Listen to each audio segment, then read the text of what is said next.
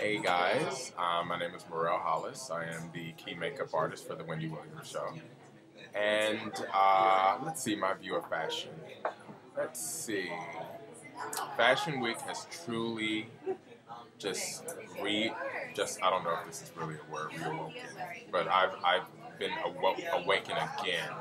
Um, it's so much energy here and just so much life right now. I'm so happy that Anna Winters had this vision to really do this Fashion Night Out because it's really changed the whole industry.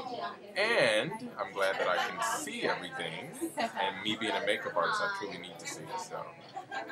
Thank you.